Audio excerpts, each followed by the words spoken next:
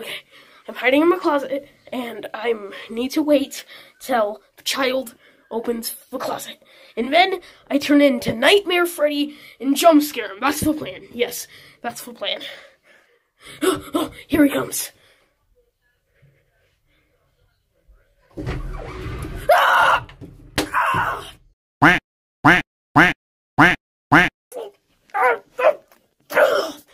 That freaking hurts! You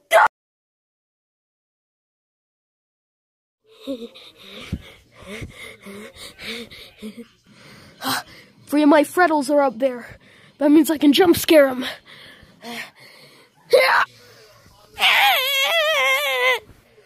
You little smart piece of crap! Oh, yes. I'm slowly walking down the hall to his door. Here he comes!